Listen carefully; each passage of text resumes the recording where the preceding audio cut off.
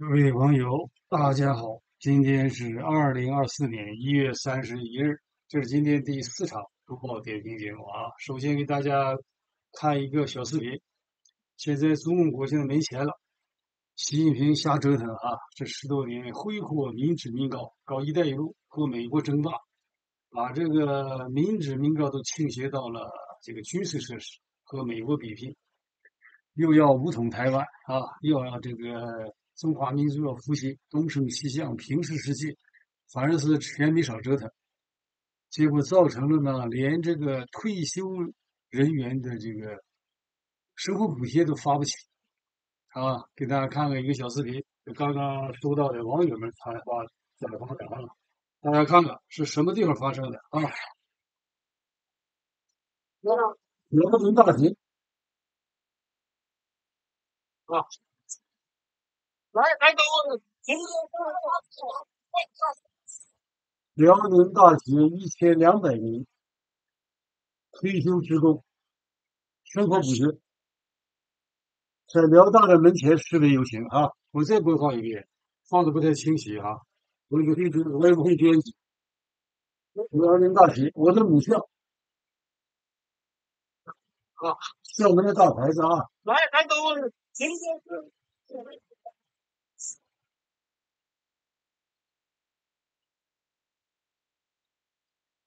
呃，这有一个横幅：辽宁大学一千五百名退休职工，呃，要求生活补贴。我不太懂，他这个生活补贴是指退休金吗？如果退休金都发不出来，那麻烦了。之所以涌到学校门前，到母校的门前啊，因为这些人都和我年龄差不多少啊。如果是退休金可以发出来，生活补贴是什么？是指什么？我不是太了解啊。反正是一千五百多名，那证明这个群体很大，很多人呢，就是晚年生活没有保障。看了以后，很这个心痛啊。作为一个辽宁大学的校友啊，我代替他们呼吁呼吁，是吧？因为这个不涉及到我个人啊，因为我个人已经是加拿大公民了，是吧？在加拿大公民，十八岁之前你什么都有啊，六十以后也基本上什么都有了。我只是觉得这个事儿就是公平。有了这个胡温，呃，留下的家底儿很厚实啊，应该是把这个家底留下来，帮助自己本国的老百姓。首先发好发展这个，呃，福利事业，都做好福利哈，也就是医疗保险、劳动保险。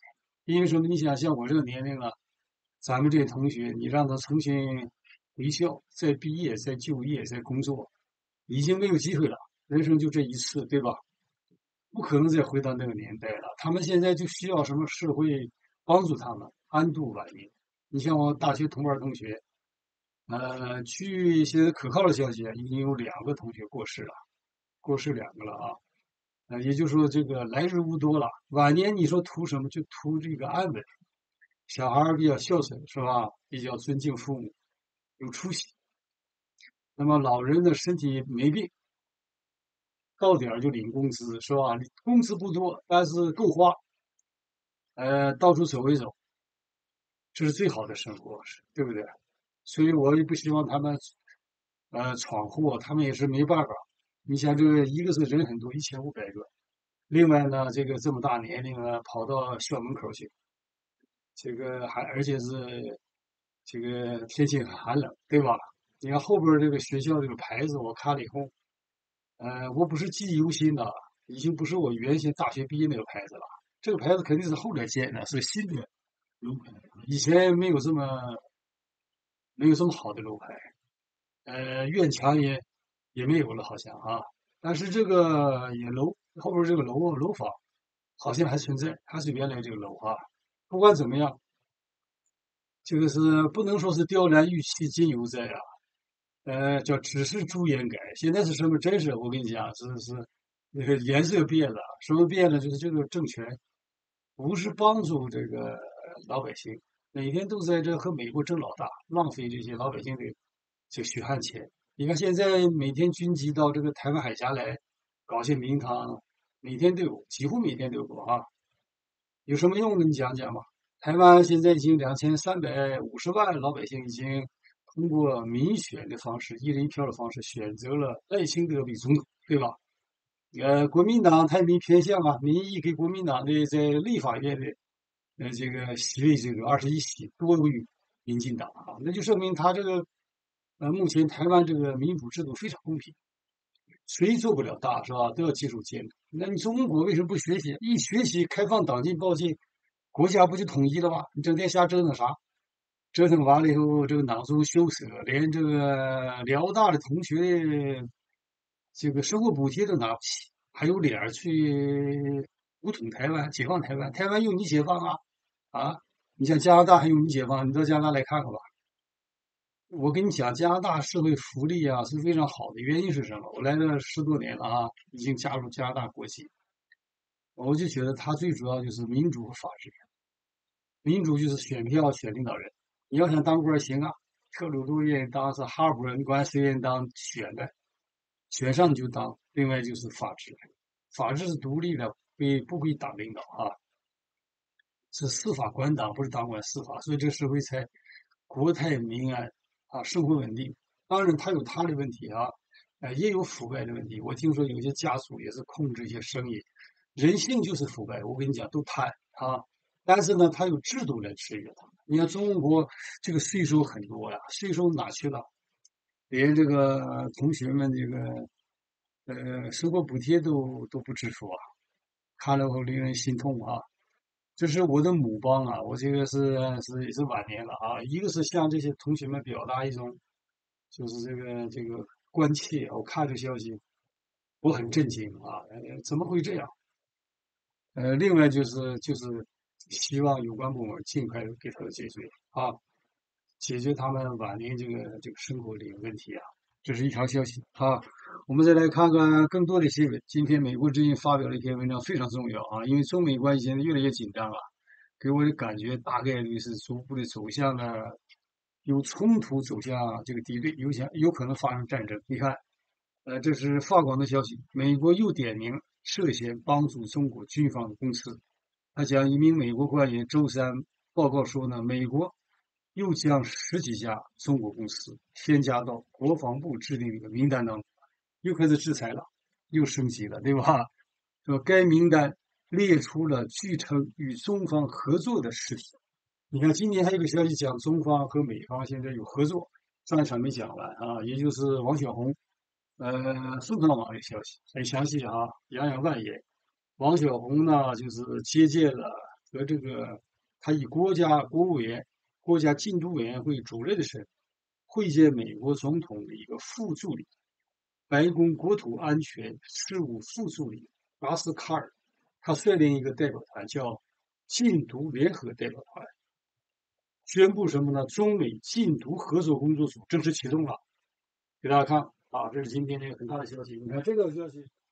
给我们感觉是中美的回暖关系啊，但是今天另一另一个消息呢，呃，还有一个照片啊，你看，这委员会这么多人，就开始什么呢？主要是芬太尼的问题，拜登和习近平不达成协议了吗？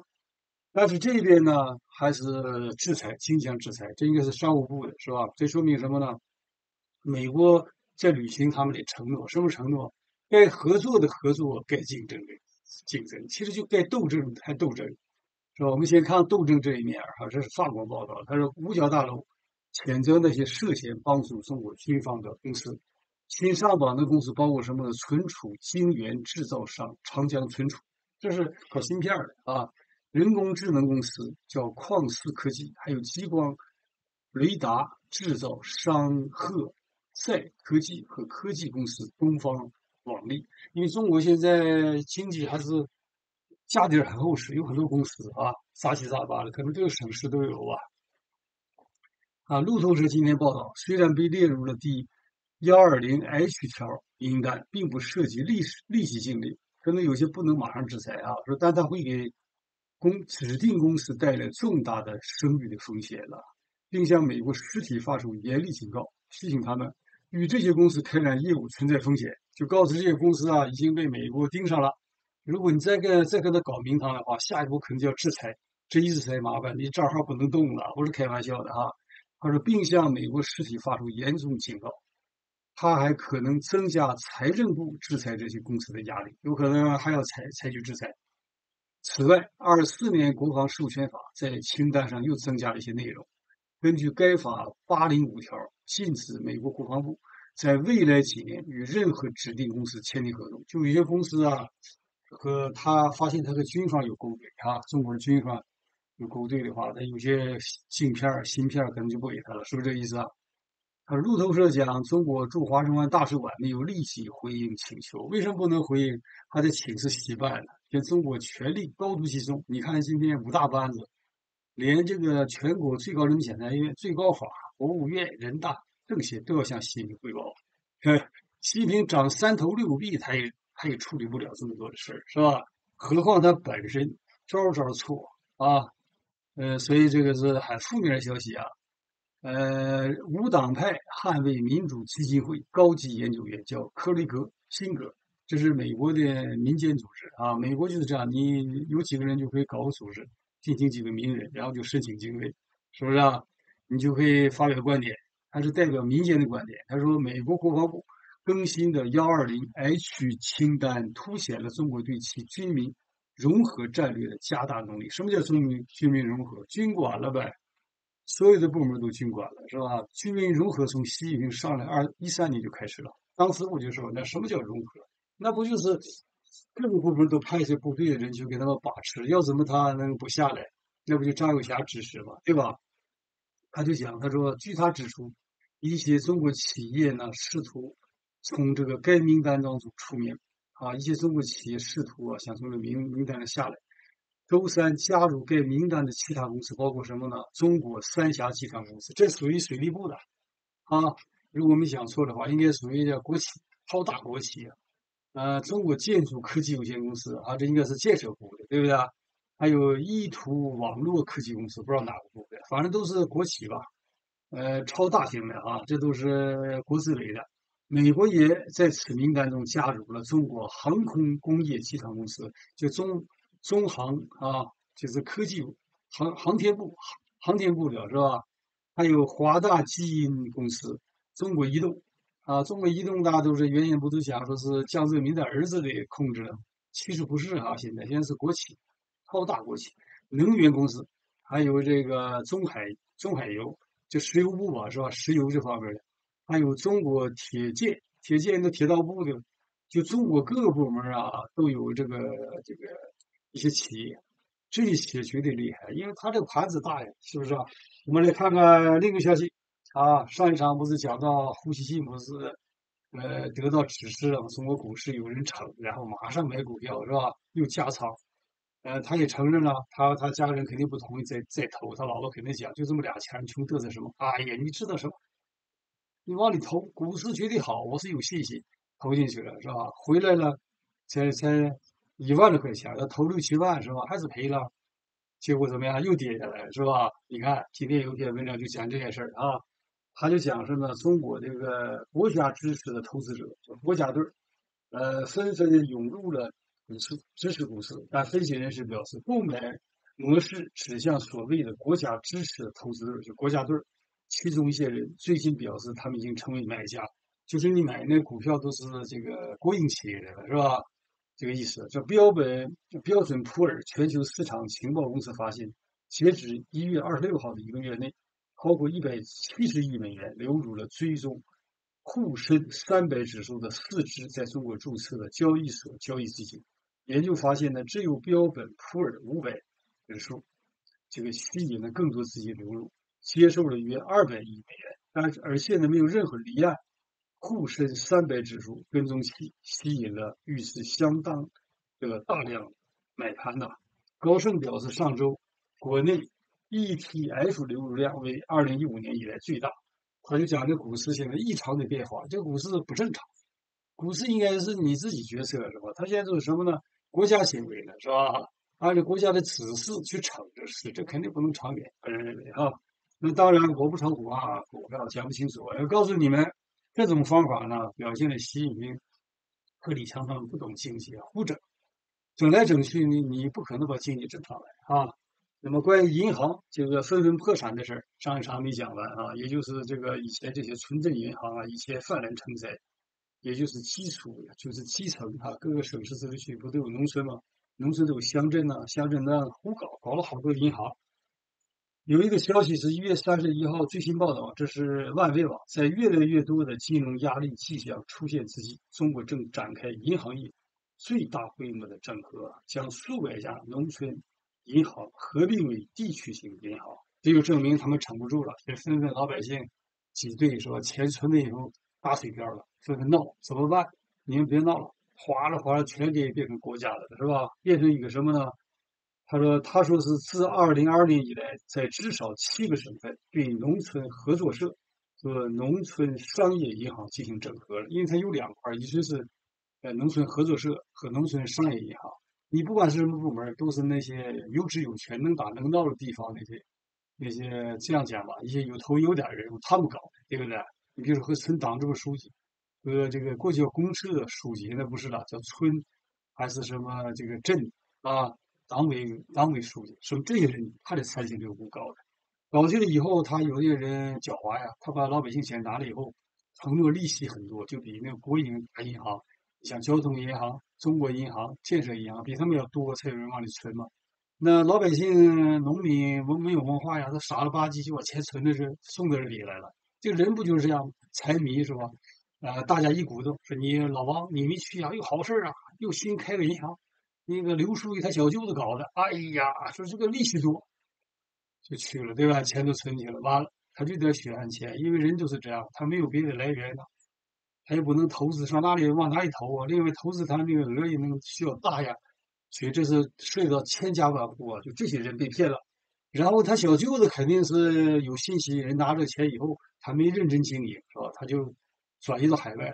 都来这边读书啊，就业，在这边买房买地，他自己过得挺好，那银行都亏了，亏了跑了，跑了，书记脸一抹，这是跟我一点关系没有，哪去了？我小舅也不听我的，哪是我小舅子？那是假冒我小舅子，就这套东西，是不是？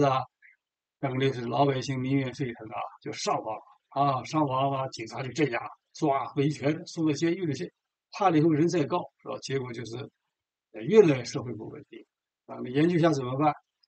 划了划，全归共产党了，都都给他整到一起了。地区性银行，他是只是啊，他举例是七个省份，政策制定者将啊对对应对六点七万亿美元的，你这个多大？六点七万万亿美元行业的风险确定为今年的首要任务。完了，金融崩盘了，怪不得习近平把他各个什么咨询大佬都请到北京去，让他们这个用中纪委这个理念压着他们干什么？不要躺平。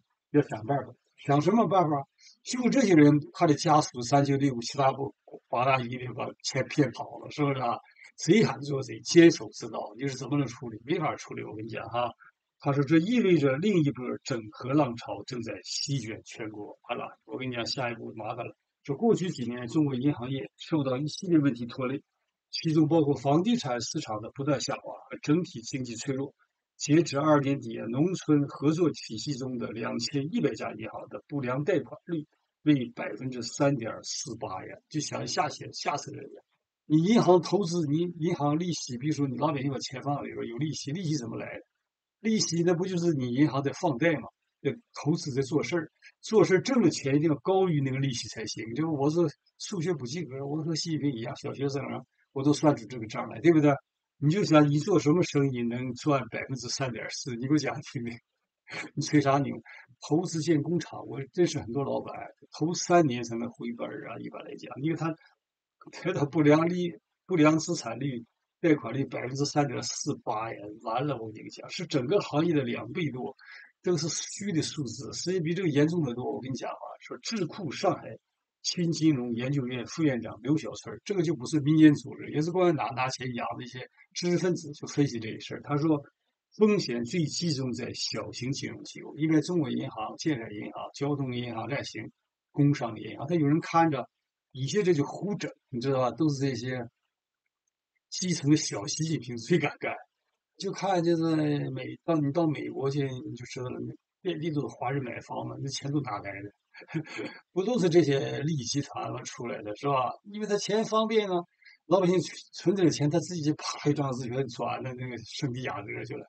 他大舅哥在那就买上豪宅就嗨起来，完了开上豪车是吧？他才不管了，不行不行跑了就完了是吧？他就这个思维。所以整个烂套了哈，这很大的一个事儿。他说，呃，因此中国正以更快的速度推进改革，因为他的中国共产党他最大优处优点什么？他自己认为就是效率高，因为他权力集中啊，呱，攻坚法师一开会，呱，就就开始了，是吧？那你刷这个钱怎么办？它得有效益，对吧？你不能印票子。他说，改解决风险的一个办法是集中通过并并组重组，兼并重组啊，这个完他就陷入了这个死局了。他说，早在他此事在政治上也事关重大。说二年，河南省有数百人走上街头，抗议几家村镇银行数十亿美数十亿美金的金融诈骗。现在也没抓回来那个人叫姓李，对吧？说早在二零一九年就预言中国地方银行问题的分析师有个分析师。杰森他说呢，农村合作社合作社可能是整个中国金银行体系这种最不透明的部分啊。这个是不是不透明？它监管最差的。你就像农村呢，你还不知道哪有什么法律？那不就是党支部书记在那是去山村子里的螃蟹横着走，对不对？你你去采访就知道，大队党支部书记素质都很差，斗大的字字不识一筐。那个在改革开放年代，那个咱咱都不知道贷款是怎么回事，就借钱都不敢借啊。我记得那时候都号召啊借钱，就找那个乡镇企业那个那个企业主、乡镇企业的老板呢。刚开始是武器小工厂是吧？后来就乡镇企业，有些那个没有文化的农民啊，甚至有的是一只眼，还有的都是那个披头散发的，你不知道他都淳朴到什么地方，你淳朴到什么程度？你可以讲是可以讲他傻了吧唧的，是吧？你就想想那李桂莲，我是觉得她没有文化，她字都都不会写，还还她还是真的，那个她就她的老公啊，祥林会写字。你看你要签字签字，大洋创世哈，就那个那个样本画册什么上那个字，就李桂莲的字写挺好，是老老公写。我从来不编故事，他就没有文化，大嫂队长嘛，他先生是这个民兵连长，对不对？但是他特别的有战略眼光，那老太太有有水平啊，就是。敢干贷款哈，刚开始贷款他都不敢贷，就贷款是什么东西？借完钱能还上吗？胆子大，行，咱先花了再说，先拿了再说，他就敢贷啊，就发展起来。不好多都是这样吗？有的贷从贷那天开始，从来没想他还，反正再也还不上，每一天都花，然后在这家银行贷一千万，到那块再贷一千万，就天天贷，慢慢还，叫拆了东墙补西墙，天天中午大吃大喝，哪天不是？连这个什么检察院、法院的食堂都是他们赞助的。那我大连那些甘井区那些那些营那些民营企业家，那个刚开始叫乡镇企业家，这么讲，百分之九十九都是这种，都靠这个就是行贿受贿这一套东西发展起来。他也没想到能能能赚钱，怎么赚的钱呢？这是一巧了，他们贷了款以后不都有厂房吗？买了厂房，比如建工厂生产红砖嘛，别说哈，根本不挣钱。挣的钱发完工资啊，吃完喝完，就这么靠到年底再贷款再挣。还有其他工厂啊，什么仓储的呀、运输的呀、粮油的呀，不管什么都大同小异。但是他们有特别运气在哪里？就那个年代不改革开放吗？他把这个大连宣传的好啊，一张靓丽的名片儿加上这个保险来这么一鼓捣，知名度高，都纷纷来投资来买房买地。哎。就他所在这个工厂占这个地皮，以前的地皮是他是白捡的，没人要，一片一片。你想农村我还不知道吗？你倒是有脑子在那个地方，你整个绳子拦一拦，你花个这一两千就能买一大片地。有的人不就有头脑就买完了，对不对？那个乡镇企业就为了建工厂嘛，他就用一个院墙，比如说搞腕搞个墙拦上，一下一块地都空的。甚至里边有养猪养羊的，他他宰羊宰鸭，他都吃啊，他他他的鸡蛋什么都有，对不对啊？哎，这一升值，外商来了，外商西藏领带一介绍，这是日本的这个谁谁谁，株式会社谁谁谁，给你经理是吧？哎，那台湾也来了，摇摇晃晃的，实际来那个人是抗美援朝战争，就是韩战的时候俘虏，俘虏不有一份去了台湾了吗？共产党把他说的是叛徒，这个这俘虏你投国民党，那不是叛徒吗？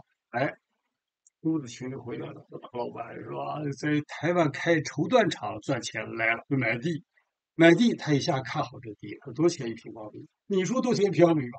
这老农民，你想他白捡那地，他的亏损账上欠银行那么多钱还不上，就生怕别人不投资啊，就讲这地方怎么好？他一看，哎呀好，这都绿水青山，大连那些乡镇企业不都是靠海边吗？是吧？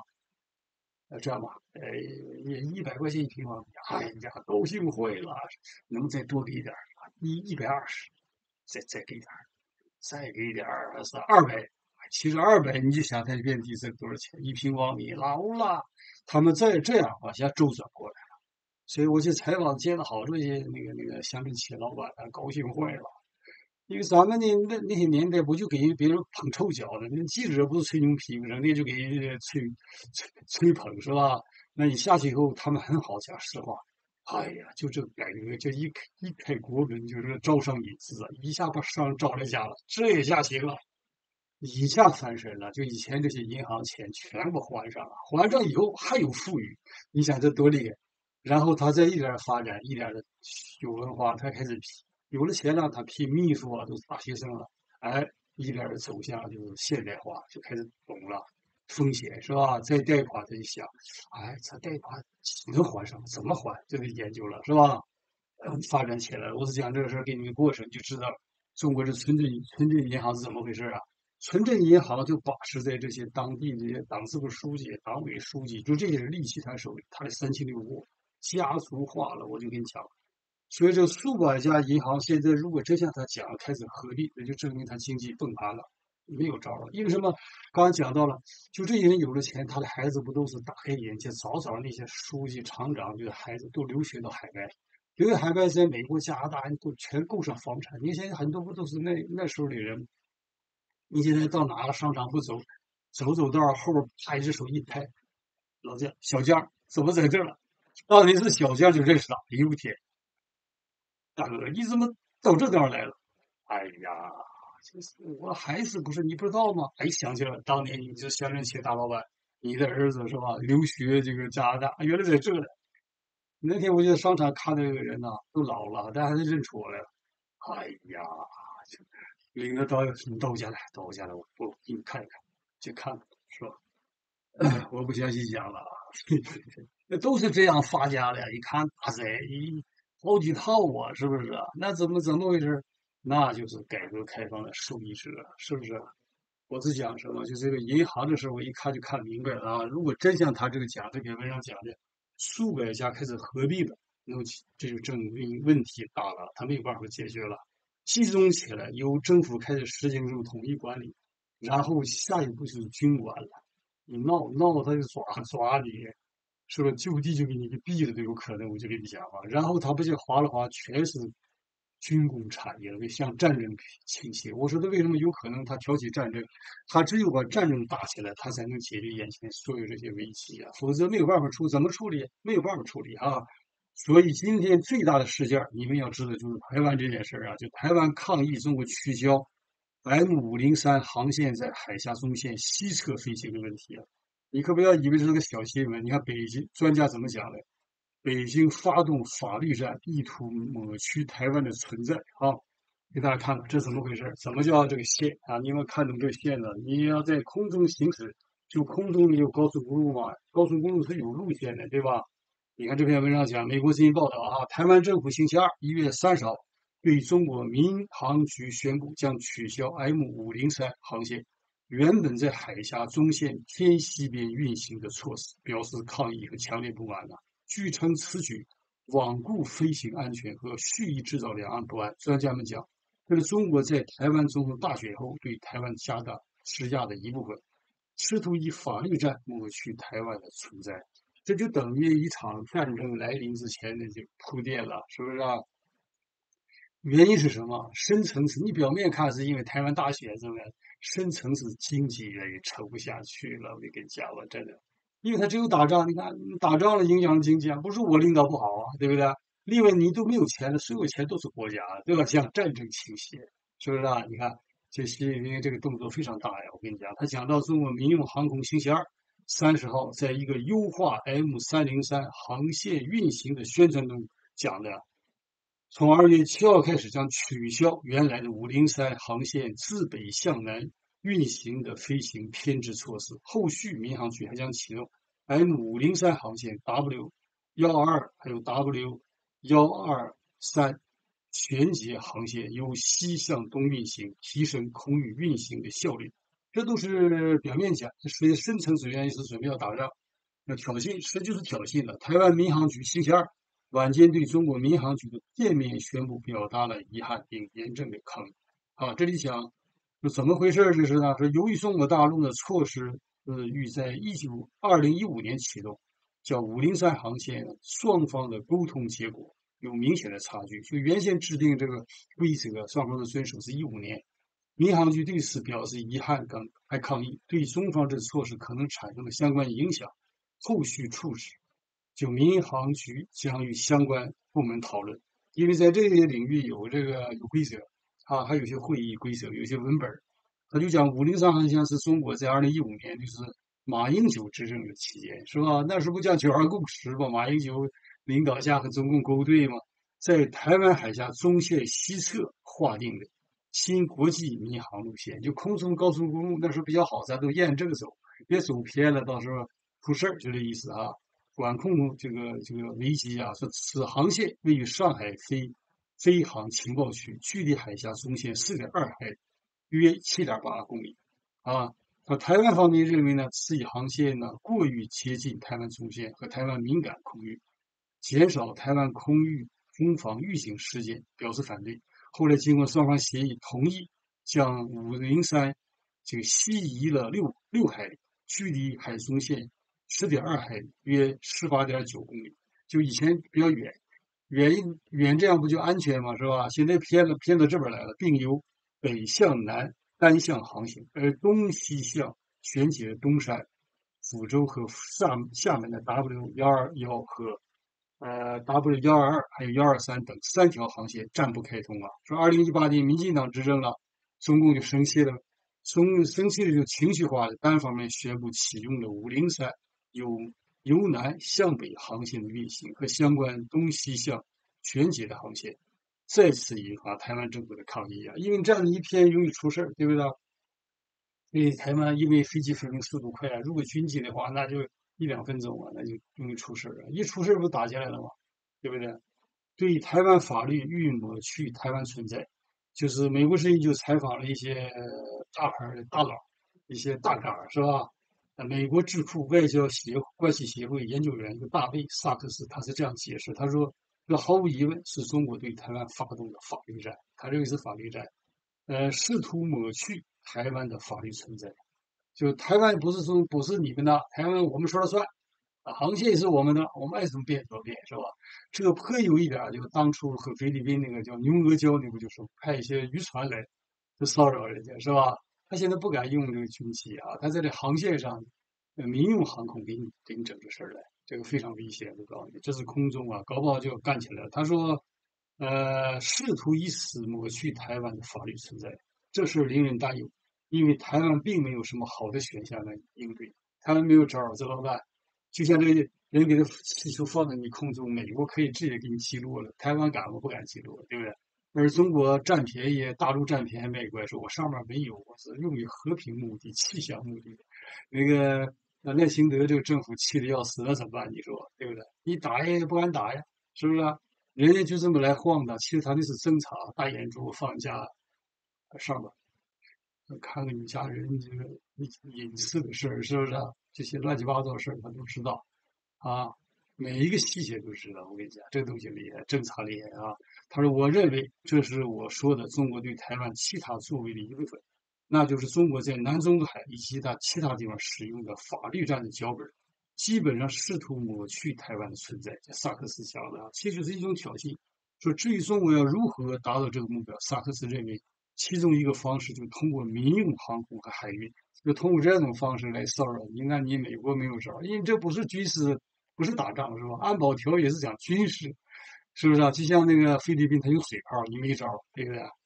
你看，他俩基本上就是讲我们要管理台湾周边的空域和海域，因为台湾是中华人民共和国一部分，它不是一个独立的国家呀。所以，中国在走这条线路，我认为。就是故意试图矮化和磨灭台湾的存在，并改变现状，所以那是令人担忧的。这是这个评论员的观点啊。这个评论员承认一个中国啊，他是就萨克斯讲，他完全预期中国会试图加大台湾的国际孤立孤立，不只是现任呃蔡英文剩余的任期内，而且在当选赖清德就职以后也会如此啊。他说，人们看到瑙鲁和台湾断交，现在又有传闻，下一个断交的是图瓦图图瓦卢。